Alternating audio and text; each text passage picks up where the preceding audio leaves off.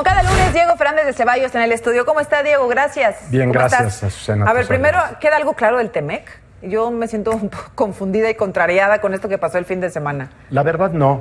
Primero porque se trata de un tema verdaderamente complicado.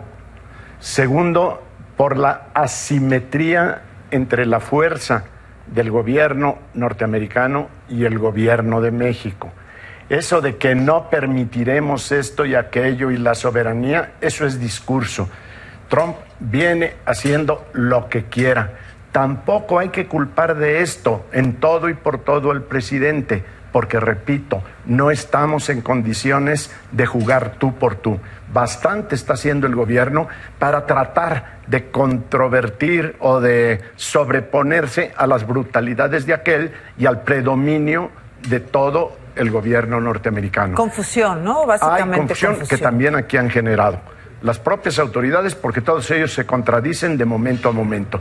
Creo que estos señores sí van a ser virtualmente inspectores con más o menos actividad en las calles, pero de que van a hacer su tarea no tengas la menor duda. También es explicable que si hay compromisos de México, pues lo único que puede hacer el gobierno de México es reclamar que no se viole su soberanía, pero cumplir con las obligaciones pactadas. Ahora, la pregunta que te quiero hacer, Diego, al leer tu columna en, el, en Milenio Diario y en milenio.com es, ¿estás defendiendo a Genaro García Luna? No, por supuesto que no.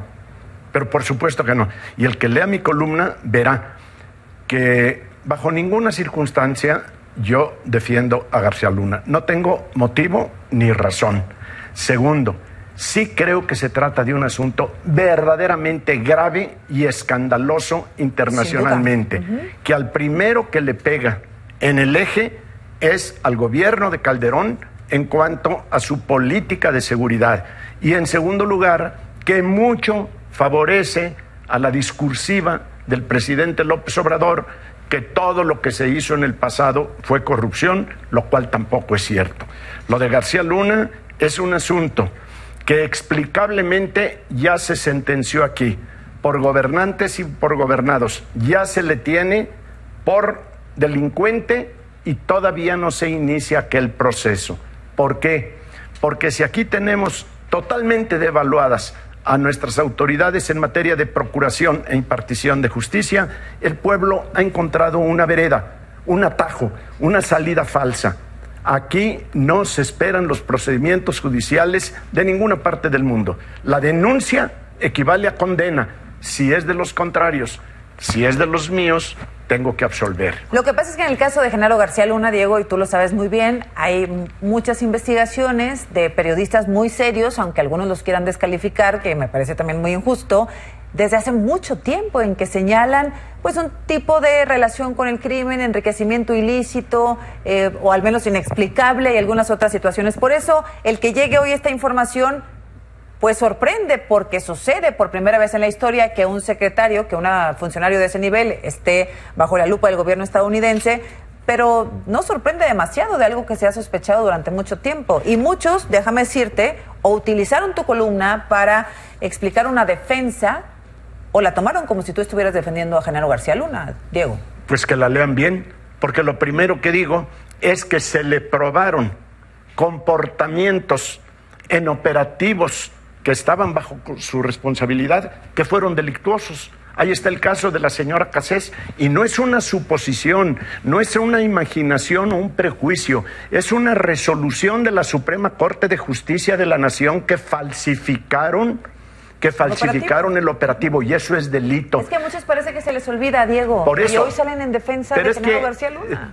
Si muchos no saben leer, mucho menos se les puede pedir que entiendan.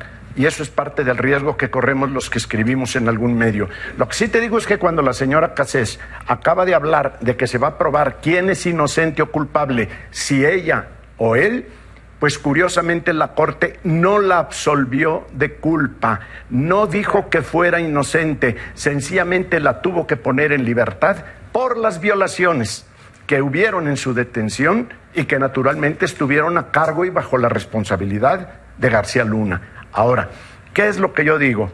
Que es una pena lo que nos está pasando como sociedad. Como no tenemos confianza en nuestras policías, en nuestros fiscales, en nuestros jueces, porque muchas veces son actos de corrupción, pues por supuesto que acudimos a lo rápido. Si es de los otros, por supuesto que es un condenado de todos los delitos, aunque todavía no haya juicio. Pero si es de los míos, lo absuelvo. Ahora, ¿qué cosa es lo que yo alego fundamentalmente en este orden de ideas? Se dice, por ejemplo, Calderón es responsable políticamente y posiblemente en lo judicial. ¿Por qué lo puso? Y es inverosímil que hubiera desconocido el comportamiento de su secretario. ¿No lo es? Permíteme, voy a concluir.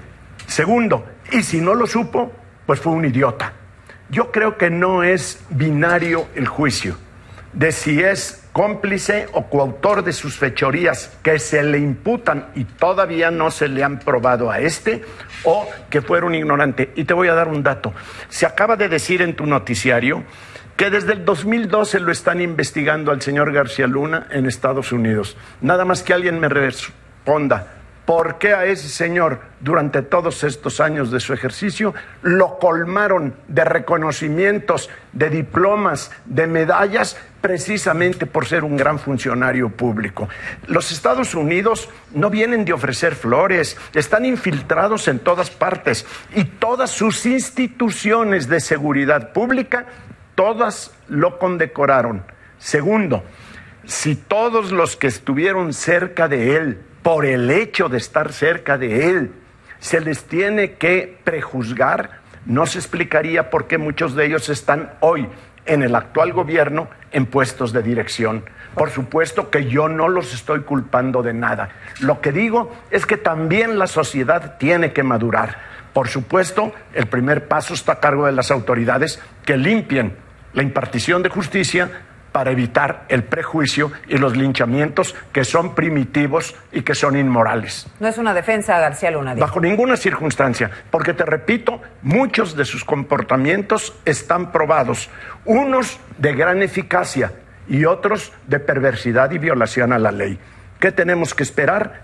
A ver qué le prueban los Estados Unidos, pero también calculando, y aquí me despido, los americanos no son muy limpios para impartir la justicia y para juzgar a los que allá les llegan, porque lo que más les importa es recuperar los dineros y negociar con ellos para seguir en su juego. No olvidemos que el principal negocio de las drogas, el principal negocio de las drogas está allá y el principal negocio de las armas y del dinero también.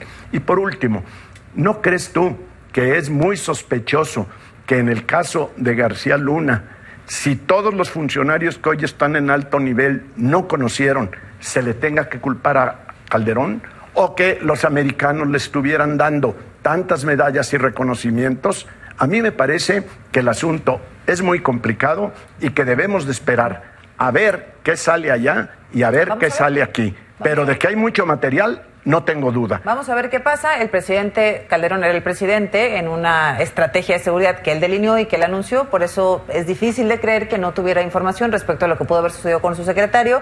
Y las condecoraciones, pues probablemente haya independencia entre las dependencias, algo que aquí no pasa, Diego. Hay algo más que independencia.